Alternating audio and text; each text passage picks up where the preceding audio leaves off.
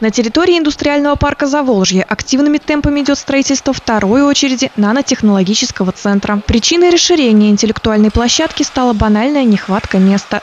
На сегодняшний день э, вот это вот здание, прекрасное здание, оно по большому счету исчерпало свои ресурсы с точки зрения э, размещения новых компаний, стартапов, создания новых лабораторий. И мы обратились к нашим уважаемым партнерам с предложением о расширении именно этой инфраструктуры, э, как, как принято говорить, жесткой инфраструктуры с точки зрения развития инновационного бизнеса.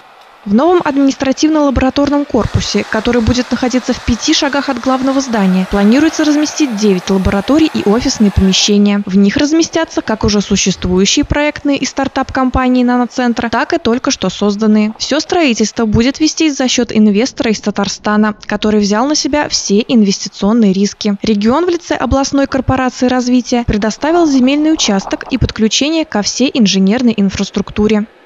Взор этой компании упал на наш регион, и они оценили то интенсивность, какой, кем, а, с какой развивается территория, с какой э, развивается интеллектуальный потенциал.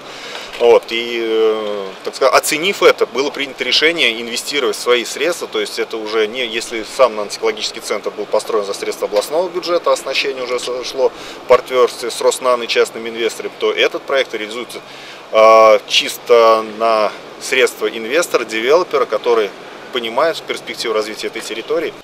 Общий объем инвестиций в проект составил порядка 200 миллионов рублей. Строительство планируется закончить к третьему кварталу 2017 года. Дарья Судрева, Юрий Конихин. Новости Ульяновской правды.